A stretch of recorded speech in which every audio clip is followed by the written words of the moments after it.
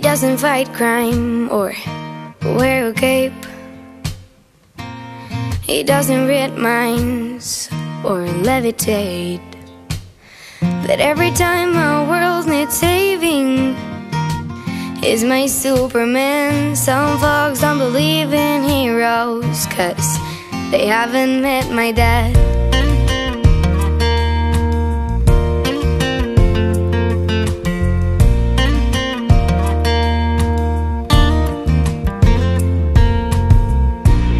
He loved his workshop and rock and roll. He's got a hot rod and a heart of gold. And you could say he's a man of few words, but he talks a lot within. And even though I'm a little taller, I still look up to him. He built me a house in the arms of a tree. He taught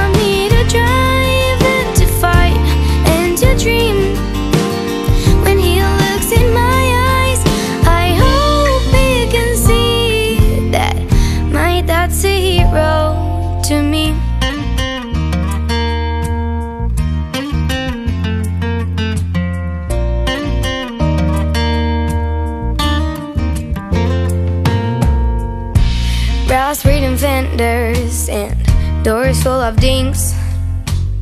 Somehow he can fix about anything. I didn't think he knew how to cry. Till our dog that died here, he doesn't always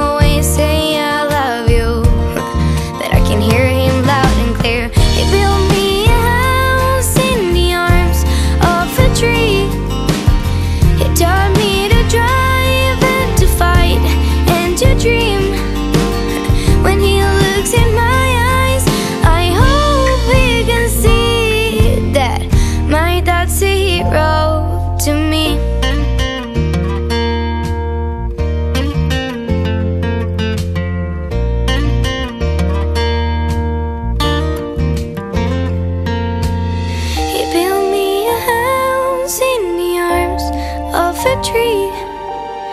He taught me to drive and to fight and to dream. When he looks in my eyes, I hope he can see that my dad's a hero to me.